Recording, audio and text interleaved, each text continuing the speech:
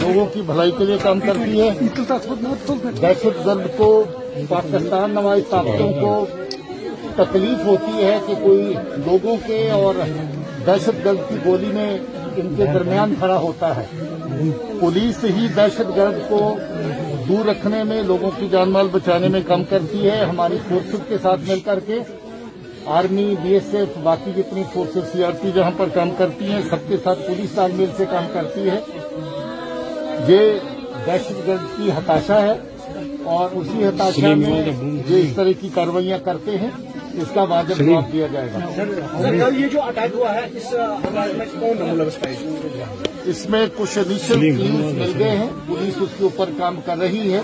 اور جلد ہی اس کیس میں جو لوگ ملوث ہیں ان کے ساتھ انصاف ہوگا۔ اس کی ڈیٹیل ابھی باقی کاروائی کے بعد۔ سر محمد سلطان ایک غریب گھرانے سے تعلق رکھتا ہے۔ ان کو؟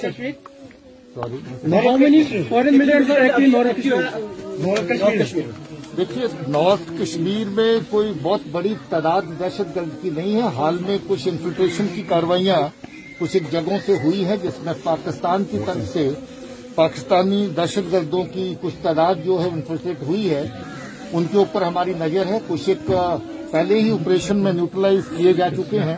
ابھی اور آپریشن جاری ہیں۔ اور مجھے امید ہے کہ جلد ہی جو نئی انفیٹیشن پاکستان کی طرف سے ہوئی ہے، اس کا بھی حصہ برابر ہوگا۔